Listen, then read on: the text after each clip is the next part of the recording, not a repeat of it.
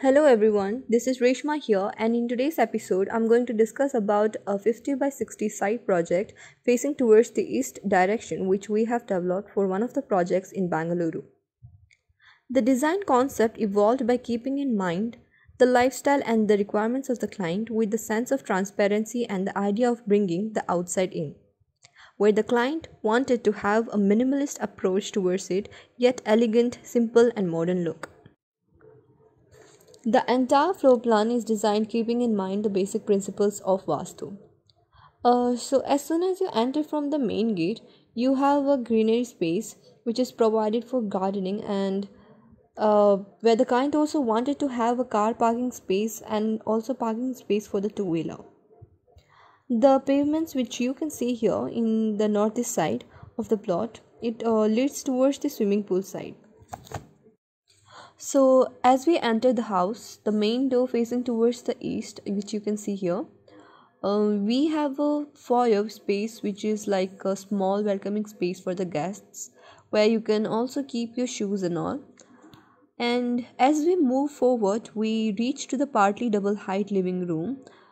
of 20 feet by 20 feet where the client wanted it to be more spacious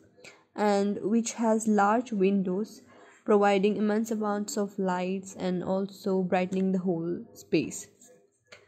Uh, here you can see the swimming pool and it can be easily accessed from the living room too. Moving towards the other side of the floor plan uh, we have this kitchen here which is 12 feet by 13 feet in the southeast part of the house and which is you know considered the ideal location according to the vastu uh, which also has this countertop here next so just adjacent to this kitchen is the double height dining space which is 11 feet by 16 feet and is provided it at such location you know where you can actually serve your food directly and easily from the kitchen and also uh, you can uh, have the view outside towards this greenery space and enjoy the view at the same time so moving towards this powder room here which is 5 feet 11 inch by 3 feet 3 inch is provided just near to the dining space and also can be accessed from the living room. Uh, towards this northwest part of the house is this master bedroom for the client with a view towards the pool side and also can be easily accessed from the room. This master bedroom also has this walk-in wardrobe here which you can see and a bathroom with 7 feet 10 inch by 5 feet 11 inch. As we go higher floor, you'll reach this family living area which is 16 feet by 20 feet and you'll be able to see the double height maintaining the visual connection outside blended with the light from the double heights. Uh, moving ahead there are two bedrooms which is located on the either side of this family living space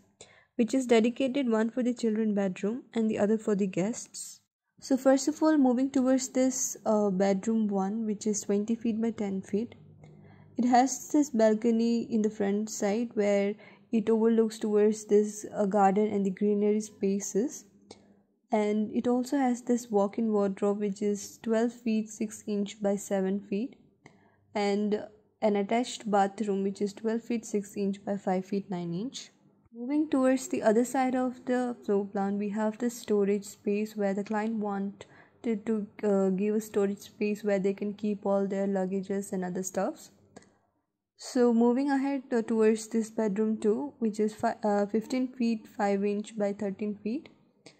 which also has this balcony which overlooks towards the swimming pool,